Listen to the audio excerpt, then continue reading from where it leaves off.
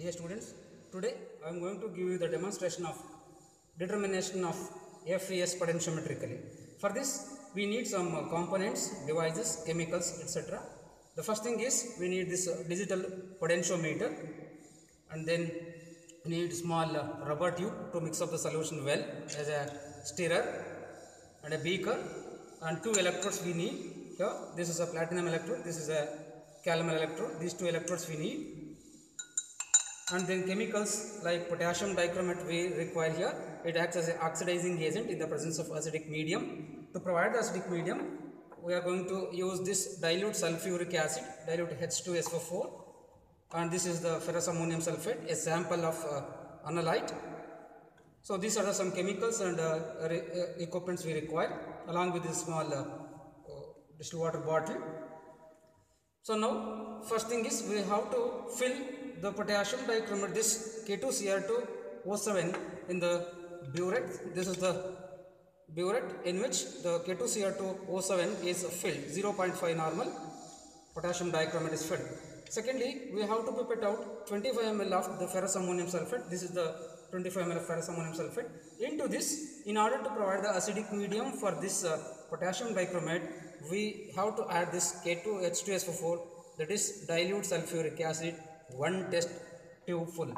Then we have to immerse the electrodes. Before immersing the electrode, we have to wash or rinse with the distilled water like this.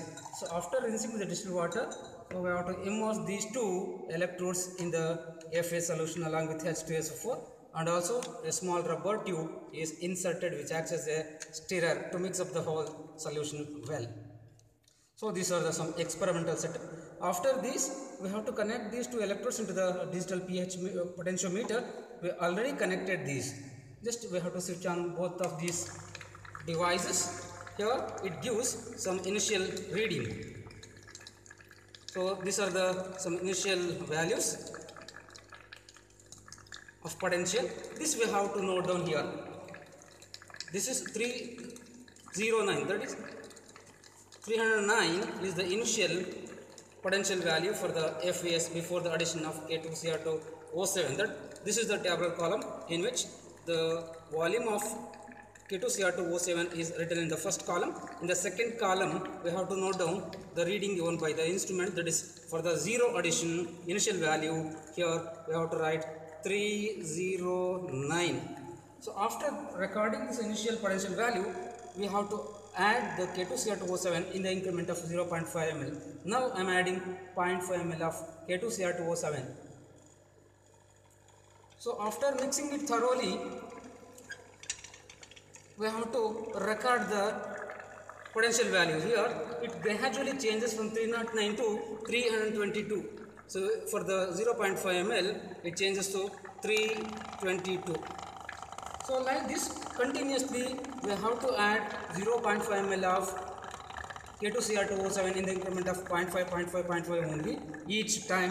After mixing it thoroughly, we have to record these changes. There will be gradual again increase in the potential values. So uh, how long it increases means here there will be a sudden jump in the equivalence point maybe in the range of 4.5 to 6 or 6, uh, 6.5 depending upon the volume of the FAS given here it changes. So like this we have to record all the changes and also a sudden jump in the potential values. So here I am going to show you the some of the previous values recorded here. At the volume of 5 ml here there will be a sudden jump. This is called the equivalence point. So 4.5 395 5 ml 755 this is called equivalence point neutralization point. At this junction so we will uh, all the FAS gets neutralized by this potassium dichromate. That means the reaction gets ended up here. After getting this jump let us record 4 or 5 readings like 1 2 3 4 5 readings in order to get the graph in accurate manner so after that we have to switch off all these instruments and let's go with the calculation part. So calculation observation. Observation is very simple here. Already i have shown the tabular column here. Which contains five different columns. 1 2 3 4 5 the first column is volume of potassium dichromate 0 to 7.5 or 10 ml second column is potential values. Third column is delta e. Fourth column is delta v. And the fifth column is delta e divided by delta v so this is what the reading given by the instrument what about the third column delta E? How to calculate the delta E? Delta E is the successive changes in the two values of potential value. For example, so 3 not 351 minus of 220 is 31. Like this, we have to take the difference of these potential values and we have to write here in the column delta E. Similarly, delta V is the successive difference of the volume.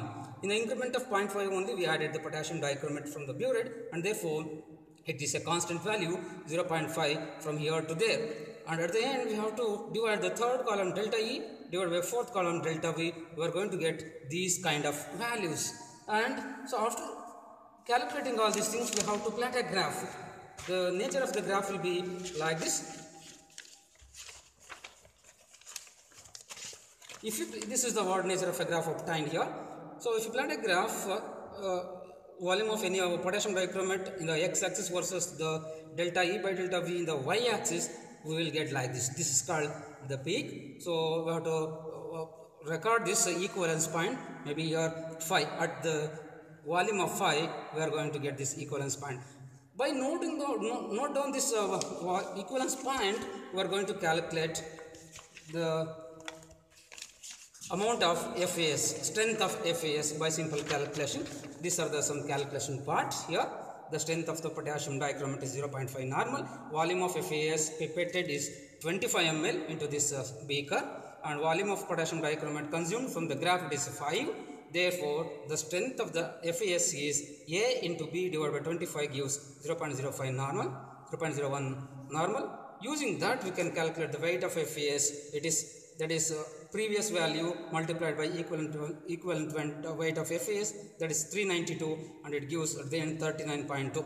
So this is for the calculation part and at the end we have to write the result like this. The strength of the FAS is 0.5 normal. The weight of the FAS in the given sample is 39.2. This is how we have to calculate FAS potentiometrically. Thank you.